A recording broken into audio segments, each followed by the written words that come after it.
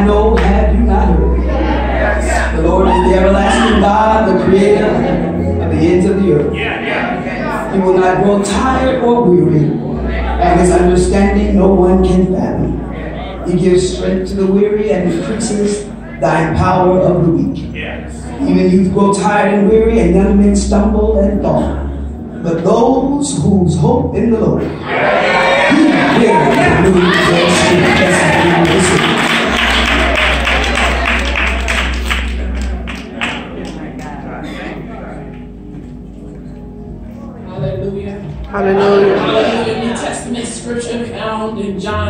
14, 1 through 3.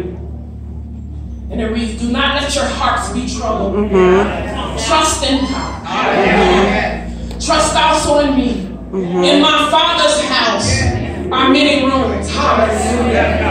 And if it were not so, I would not have told you that. I am going there to prepare a place for you. And if I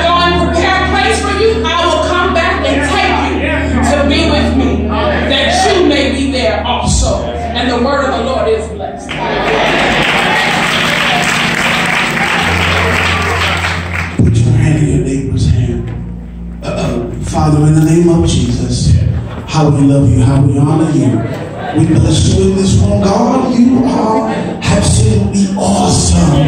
We worship you, we magnify you.